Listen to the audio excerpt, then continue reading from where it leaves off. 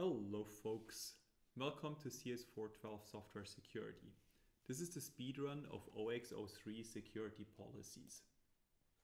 Today we'll cover a couple of basic concepts. We'll repeat the core concepts that we had in our very first introductory class, namely isolation, least privilege and compartmentalization, but then dive into the core policies that will kind of occupy us throughout a large part of the, the course and it's always essential to know the basic policies well to understand what can actually happen if you violate them. Therefore, in this class, we will learn and understand how memory safety and type safety apply to systems programming and also give a couple of examples on how these security policies can be uh, violated as part of the, the process. A policy is a deliberate system of principles to guide decisions and achieve rational outcomes.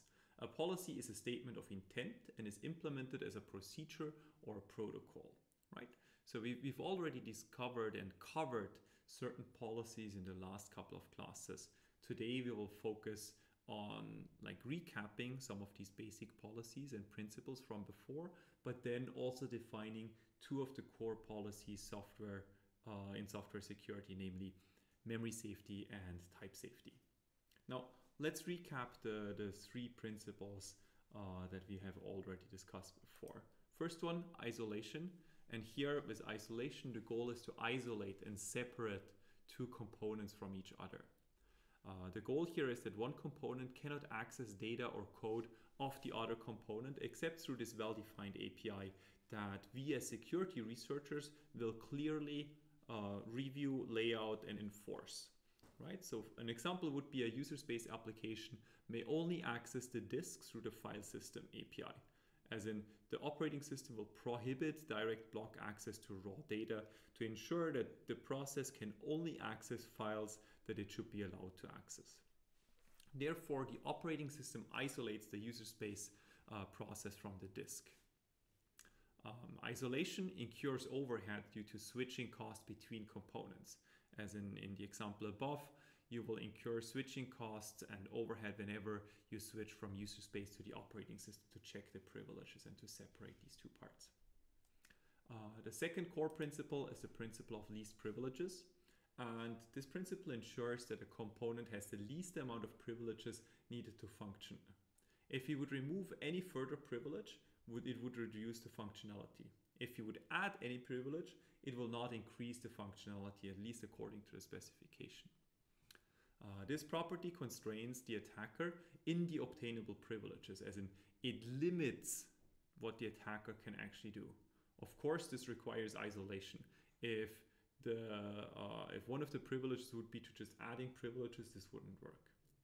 Uh, one example here is that Chrome or Chromium separates uh, rendering into an encapsulatable sandbox with only the minimum set of system calls. So the sandbox runs with the least amount of, uh, of privileges that, uh, that are actually possible. And these are only read, write, exit, uh, close, and, and return. Fault compartments are the final uh, final example. Here is uh, the, the concept that we separate individual components into the smallest possible functional unit and these units then contain faults. Whenever something bad happens, it's only the compartment that will fail but not the, the rest of the system. And this allows abstraction permission checks at the boundaries from a, from a so-called security monitor that will then evaluate how the system is going. And the system, uh, the security monitor only needs to step in whenever the boundary is being crossed, but not whenever there's, uh, there's some computation happening inside the compartment itself.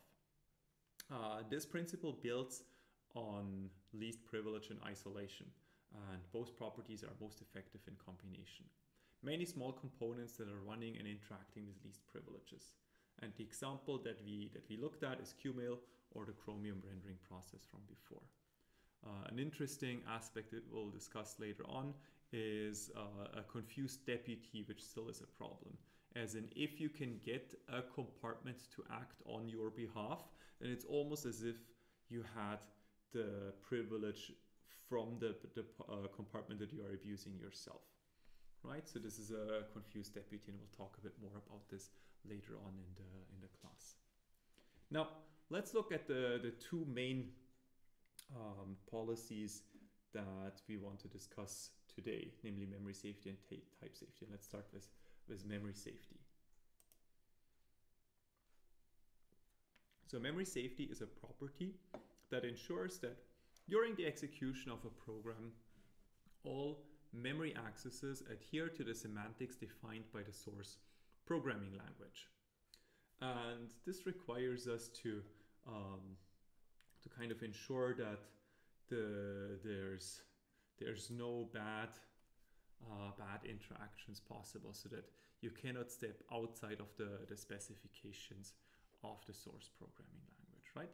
And the absence of memory safety would allow any kind of arbitrary uh, execution to happen by the by an attacker right so as we are pushing towards practical memory safety uh, we want to define some strict notion and definition of tangible memory safety and how this applies to low level programming languages and there there's a gap between the operational semantics of the programming language itself and the underlying instructions that are provided by the ISA, which allow an attacker to, to kind of bypass restrictions imposed by the programming language and then access memory safety out of context.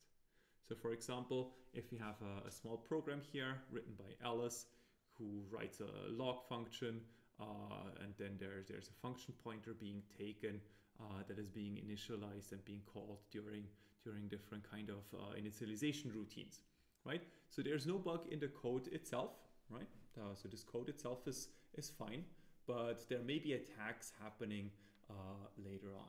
Now, as this is being compiled to, uh, to, to native code or to assembly, this will be mapped to a, to a low level representation.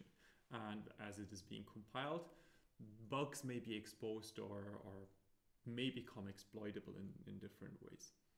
Now, interestingly, as there's a, a bug in another component written by, by Alice's coworker. Some of her code may be exploited due to the violation of specification in this other code. But interestingly, as we are moving between the two layers of abstraction, we are not following the semantics of the high-level programming language, in this case, the systems language C or C++, but we're actually following the semantics as an attacker of the underlying programming language. So we are not using these, these high level bricks that we have in the source programming language, but we are using the low level bricks we have in the, the systems model on the right hand side. So the attacker, when writing an exploit, will actually use the assembly instructions, but not the high level C and C++ code on the, on the left hand side. So the bug happens on the right hand side and the attacker will abuse the properties of the machine that is being specified on the right hand side and not the one on the left hand side. Memory unsafe languages like C or C++ cannot enforce memory safety themselves. Uh, data accesses can occur through stale or illegal pointers and thereby resulting in uh, memory unsafety. The issue here is that C allows arbitrary unchecked pointer arithmetics with an anything goes type system that allows arbitrary casts as well. So C fundamentally trusts the programmer and the programmer can adjust a pointer to a memory object in an arbitrary way that may be illegal, right? And go beyond the, the memory object or may even, uh, a pointer may, may reference a memory object that has been freed before. So in the, the in systems languages like C and C++, the programmer is responsible for memory safety. Therefore, uh, the any kind of, of uh, memory checks that are being forgotten or, or kind of missed may result in security issues. The reason here is that performance is key, right? The C system or the, the C programming language only carries out the checks that are actually added by the programmer. Therefore, this results in the best possible performance. Uh, if the programmer never adds bugs or, or in, inserts bugs, of course. Now, there's a difference between a bug and a vulnerability, and we already hinted at this in, in previous classes. A vulnerability is a bug that can be reached and triggered through attacker controlled input. So every vulnerability is a bug, but not every bug is a vulnerability. So vulnerabilities are the subset of the, of the bugs that can actually be reached and triggered through the attacker or by the attacker. The attacker thereby prepares a certain input that causes the program's control flow to actually reach the, the bug location and therefore uh, the trigger it with the attacker specified input. Every memory safety violation in, a program is a bug, but a bug whose input can be controlled by the attacker is a vulnerability. And then this obviously depends on the, the goals of the attacker uh, the, and based on the, on the threat model, what the severity of the, the vulnerability will be. Now, memory safety by itself is a general property that can apply to a program, a runtime environment, or a programming language. And I really enjoyed Mike's Hicks uh, specification and uh, kind of discussion on memory safety. And I really encourage you to read the, the set of blog posts that he wrote around memory safety. Now, memory safety fundamentally prohibits and protects against buffer overflows, null pointer dereferences, use after free vulnerabilities, or use of un uninitialized memories, or even double frees. Um, and then a program is memory safe if all possible executions of the program are memory safe. So we have this for all quantifier here. Uh, a runtime environment is memory safe if all runnable programs are memory safe. So, uh, and last but not least, uh, programming language is memory safe if all expressible programs are memory safe, right? So the, there's a, an increasing level of sophistication here. The program is memory safe if all possible executions for all possible inputs are memory safe. Right? So this means the, the program itself is memory safe if there is no input that will violate memory safety. A runtime environment is memory safe if there is no possible program that violates memory safety. And a programming language is uh, memory, memory safe if all uh, if no single expressible programs will violate memory safety. Right, so these are the four, uh, the th sorry, the three layers here. And requir requirements for memory safety from a C, C++ view are the follows. Right, it depends on two steps. First, a pointer goes out of bounds or becomes dangling, and then the pointer is dereferenced. Uh, and with dereference, we mean it is either, either used for reading or writing. Um, so the pointer can go out of bounds by through pointer arithmetics, or it become becomes dangling if the underlying memory object has been freed. And this kind of separates the view of memory safety into spatial memory safety and temporal memory safety. Now, spatial memory safety is a property that ensures that all memory objects and uh, all memory dereferences are within the bounds of their pointer's valid objects. Uh, an object's bounds are defined when the object is allocated.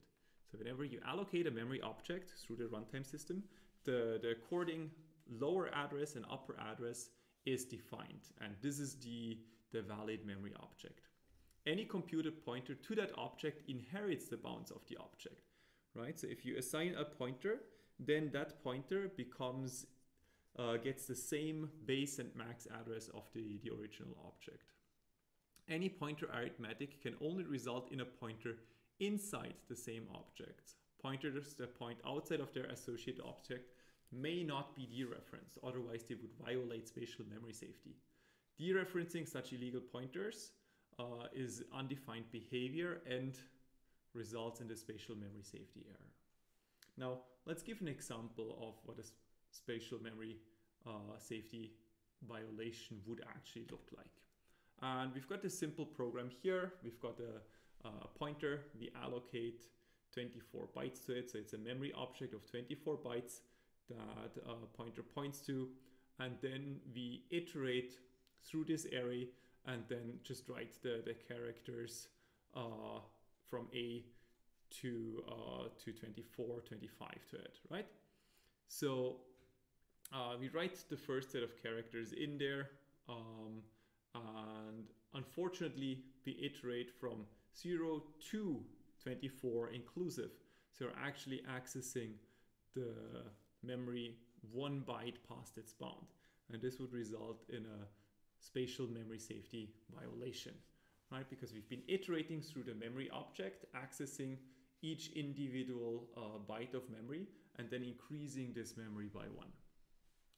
Now, temporal memory safety, on the other hand, looks at temporal aspects in, uh, compared to spatial aspects from before.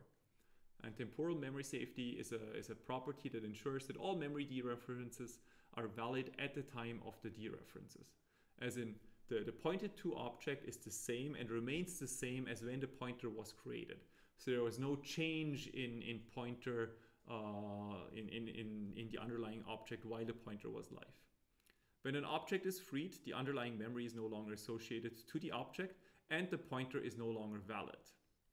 Dereferencing such an invalid pointer results in a temporal memory safety error and is also undefined behavior as according to the C, C++ language specification. Now let's look at an example that violates temporal memory safety. And these are just simple examples to get you uh, a bit on, uh, like to, to, give you a very simple um, overview of what these, these kind of memory safety errors could be. Here again, we allocate uh, an, uh, an object of 26, uh, 26 bytes and we write the letters A to Z into it. But this time we actually have the, the right size. But unfortunately, we free the object before it is actually uh, being used, right? Before we actually write to the memory object. And after freeing the memory object, the, the pointer becomes invalid and can no longer be used in, uh, in anything uh, reasonable, right? Therefore, accessing the, the bytes below by writing the, the letters A to Z to it results in temporal memory safety violations. Now, given that we have the two examples of spatial and temporal memory safety, let's push towards the definition of memory safety. So memory safety is violated if undefined memory is accessed.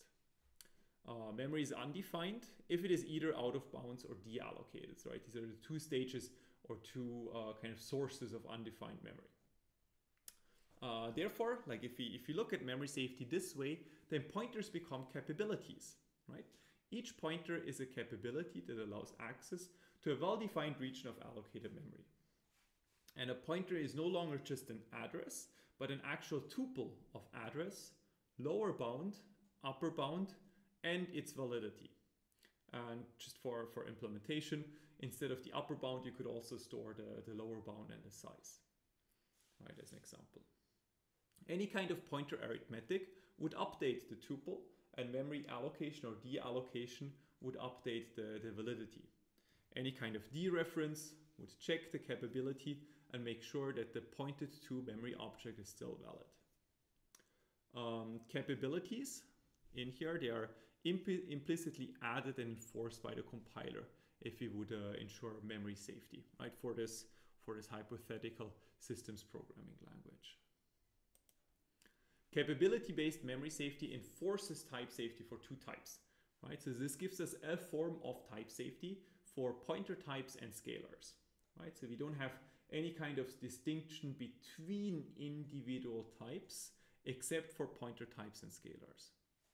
Uh, pointers and their capabilities are only created in a safe way, and pointers can be dereferenced if, they're, uh, if they point to their assigned, still valid region. So far, so good. So let's look at a couple of examples for, for memory safety or memory safe languages.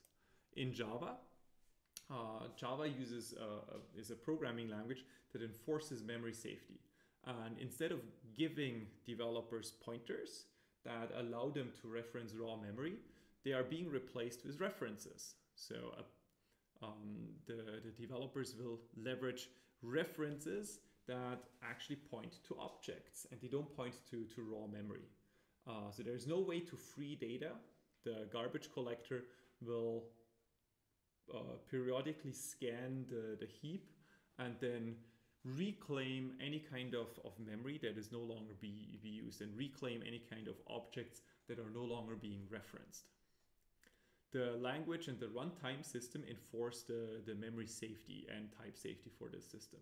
But this comes at a, at a certain overhead, right? And people believe that it's, it's about 40, 50% of overhead. But the, the, the, the number or the amount of overhead varies a lot depending on what kind of, uh, of, of program you will be implementing.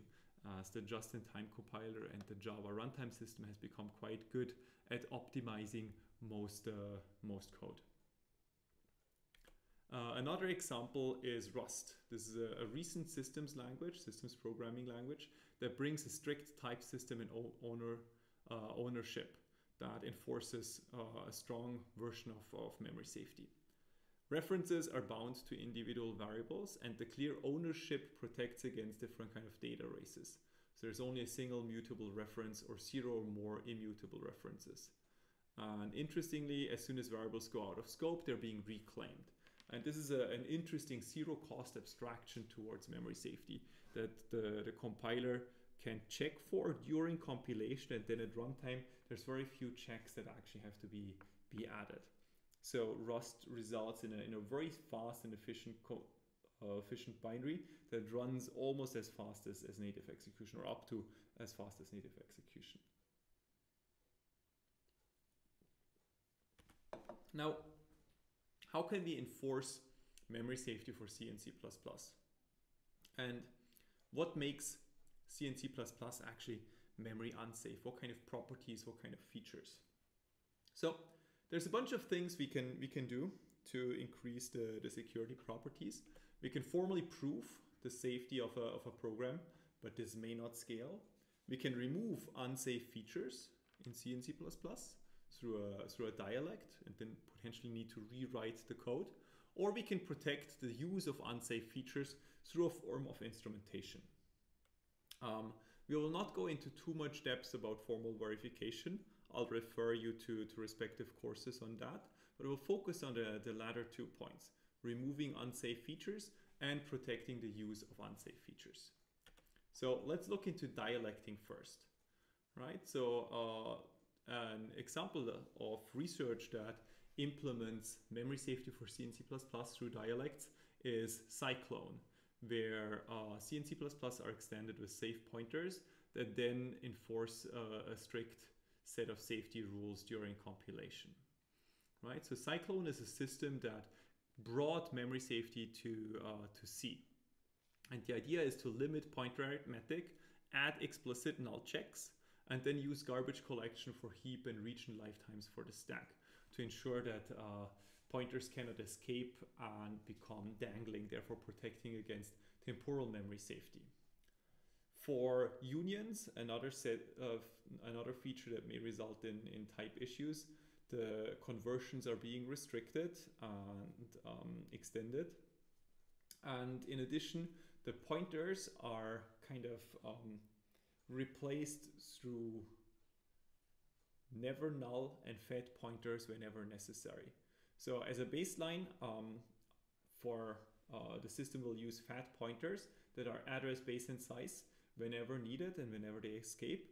And then the, the compiler may optimize and use either never null or regular pointers if it can prove that all the uses of the, the pointer are safe. Uh, and the setjmp feature is replaced through exceptions and polymorphism. So this dialect will both implement spatial and temporal memory safety for C at the cost of having to rewrite parts of the system and uh, potential um, runtime overhead of this, this system.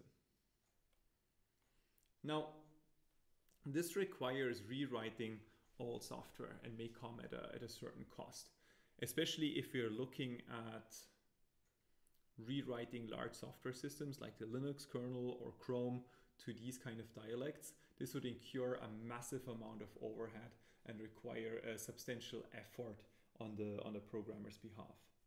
Therefore, um, memory safety through instrumentation is an interesting alternative to this.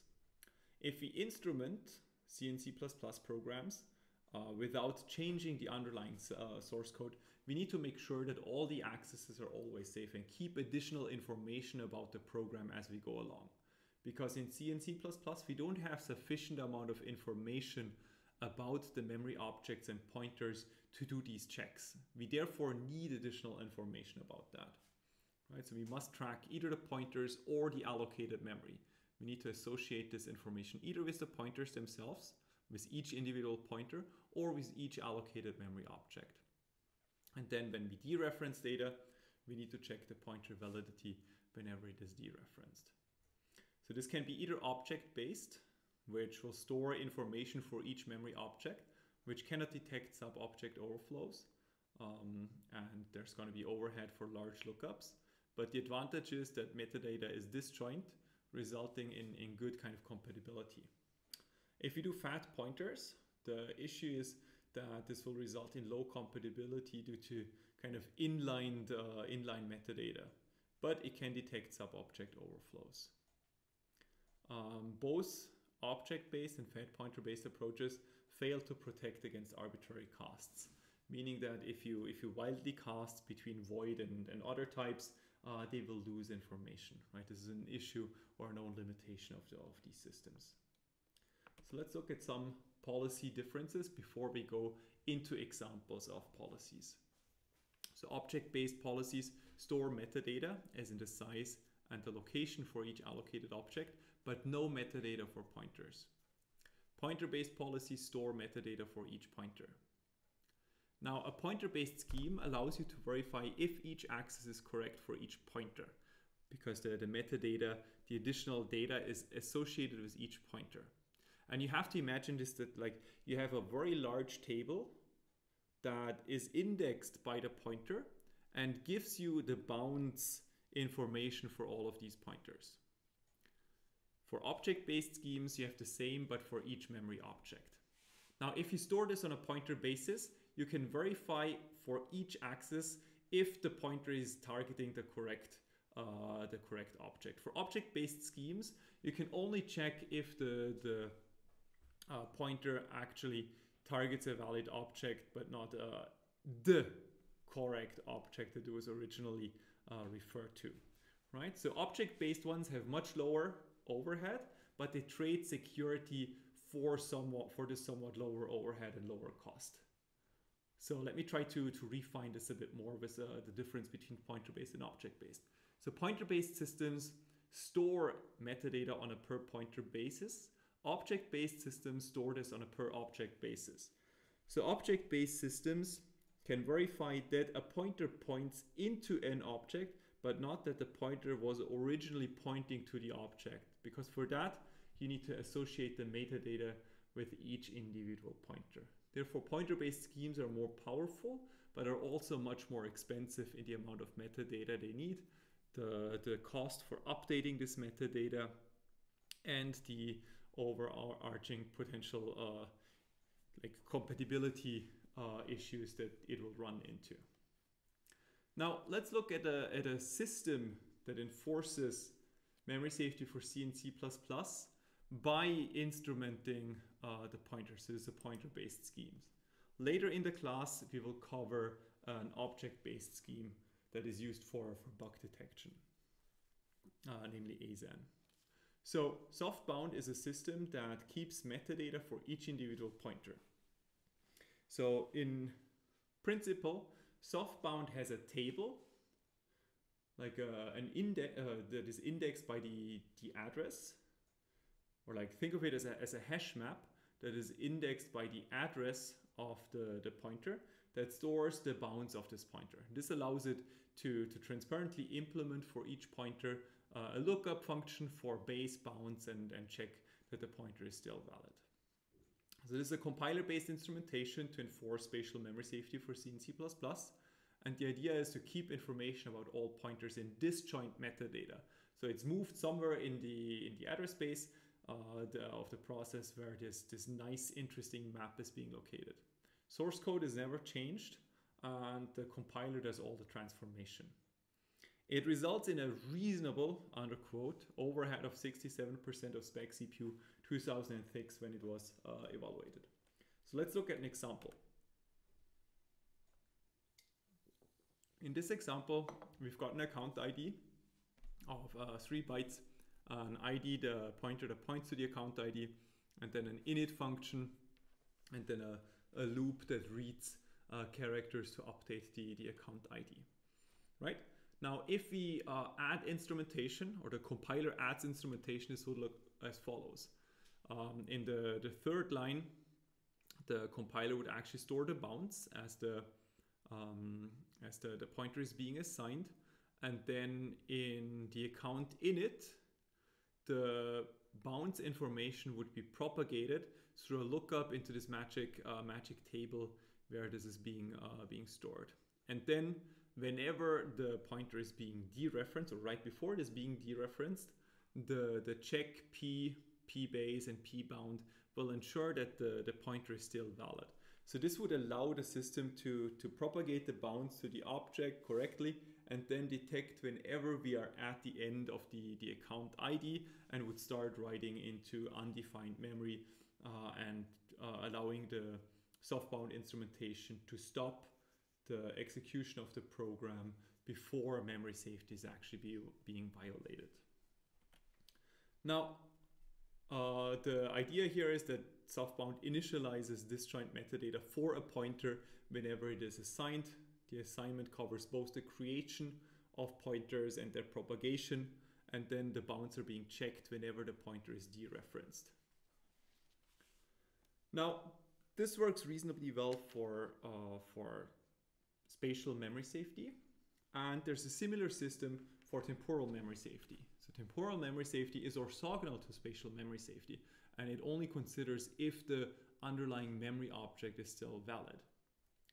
The, the same memory area could be allocated to a new object. Therefore, we have to make sure that uh, pointer references to the new object and not the old object are, are still valid. And how would we detect stale pointers? Well, two options would be garbage collection and not to reuse uh, memory, but neither of which is, is satisfactory.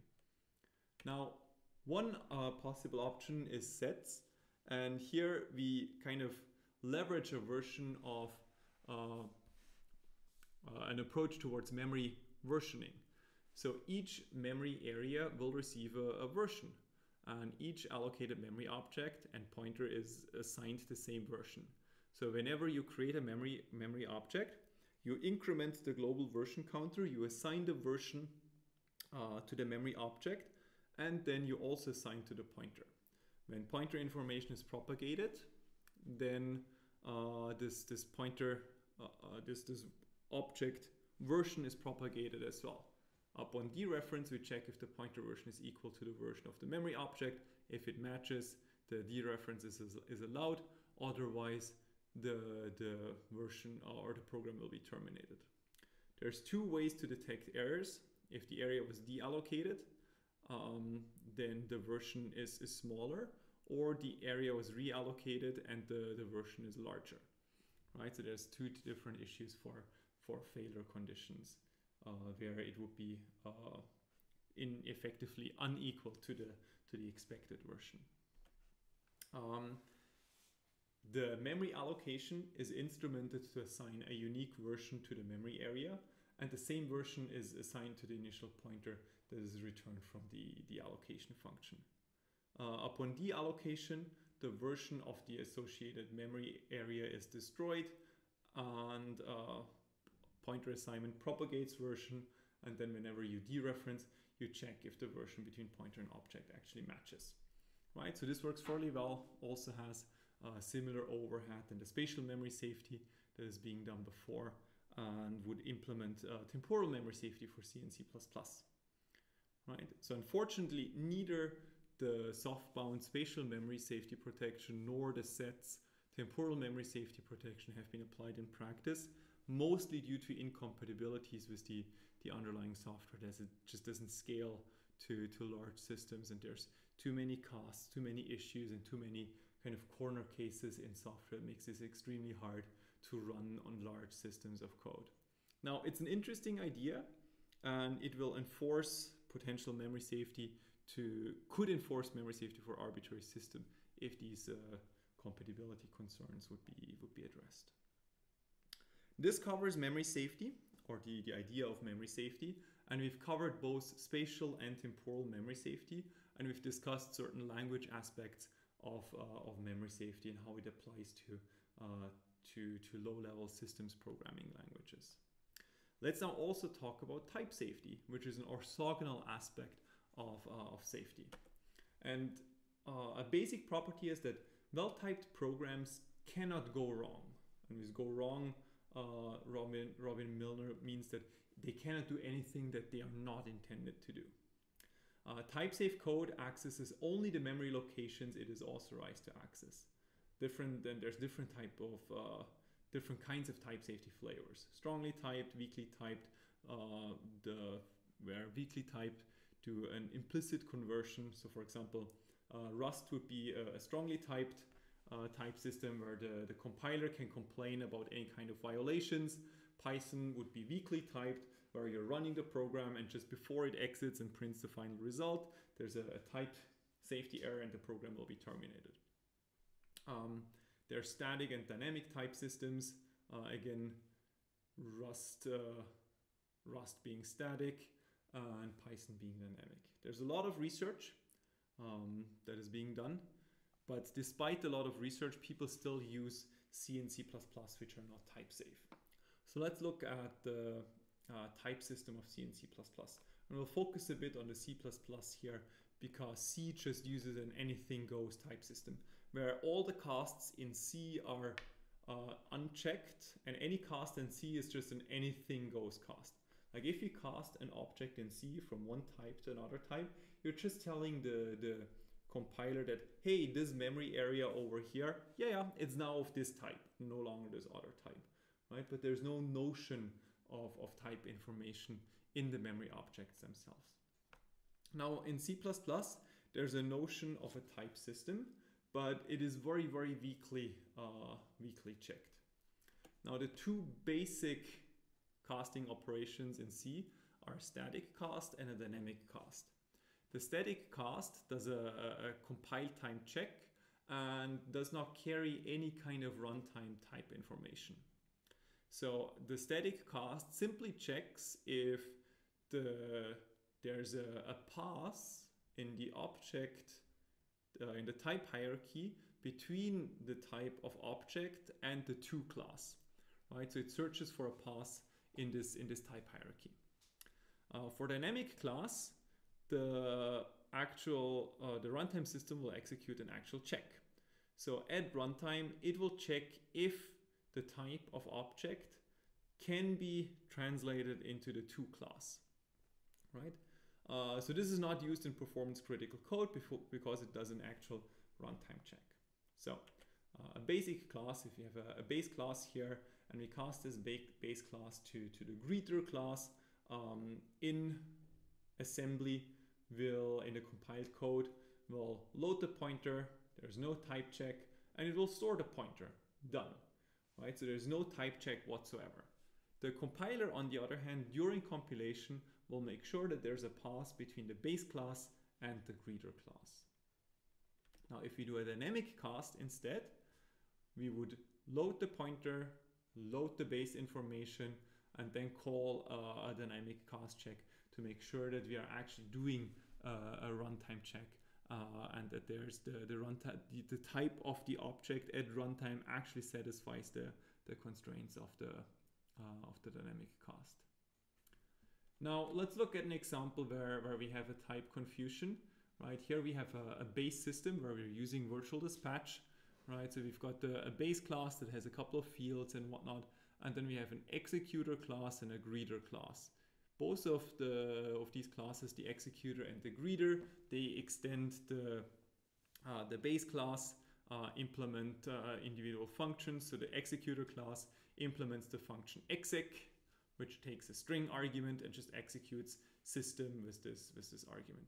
The greeter class, on the other hand, uh, has one, one function that says, or one method that says say, uh, say hi, which takes a string and will simply print the string to the console.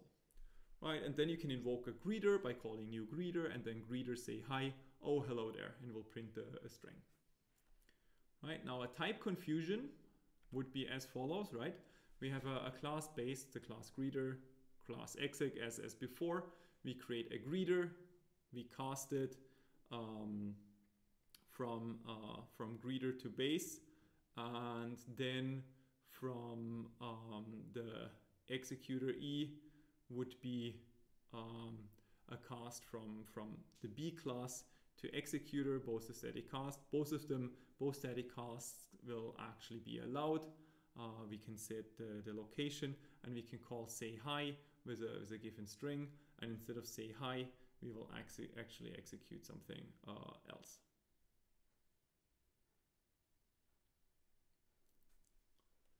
Now, the longer example, let's look at this longer example uh, in a bit more detail, right? We've got the greeter, the executor. Uh, we do uh, a static cast from the uh, uh, to, to a, a, greeter from B1, we call say hi. We then do a second cast from B2, which is also base cast, base class, say hi, but this time we say user bin calc, and this will actually invoke the, the executor function due to the, the, the missing check here. Right?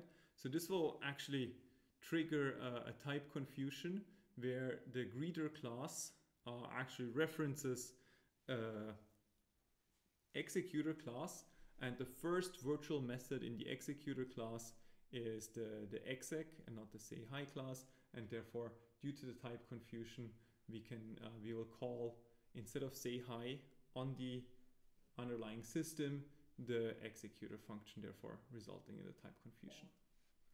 Now to enforce type safety we'll have to keep type metadata for allocated objects similar to SoftBound right and then check all the casts at runtime.